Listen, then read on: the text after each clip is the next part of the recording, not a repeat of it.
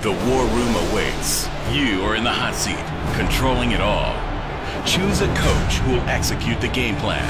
Draft a roster of some of the premier NFL stars of today, and possibly even yesterday.